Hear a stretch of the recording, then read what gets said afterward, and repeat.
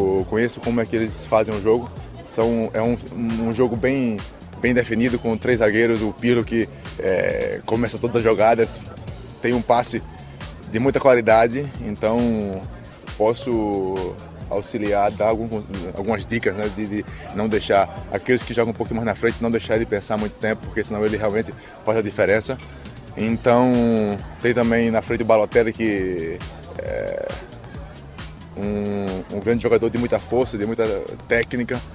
E, então essas coisas posso conciliar, ajudar meus companheiros a entender, visto que eu conheço praticamente a maioria deles. E por isso posso tirar alguns proveitos, porque é, já os conheço. Então, é, por exemplo, sei que o jogo deles é todo criado é, em base do Pirlo, né? Pirlo que, que faz com que o time todo.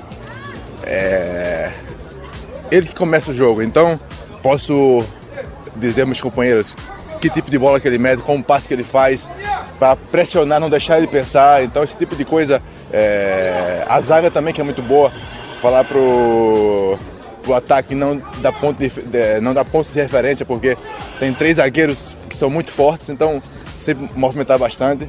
Então esse tipo de proveito que nós podemos é, tirar e falar com nossos companheiros.